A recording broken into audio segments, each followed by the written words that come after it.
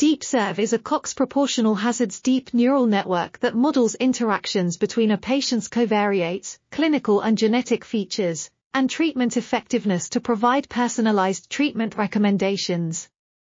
It performs as well as or better than other state-of-the-art survival models in simulated and real survival data, successfully modeling increasingly complex relationships between a patient's features and risk of failure.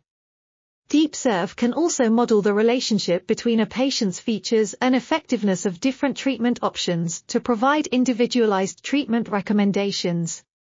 By using deep neural networks as a tool, medical researchers can explore, understand, and predict the effects of a patient's characteristics on their risk of failure, ultimately leading to improved patient outcomes. This article was authored by Jared L. Katzman, Uri Shaham, Alexander Cloninger, and others. We are RTCL.TV, links in the description below.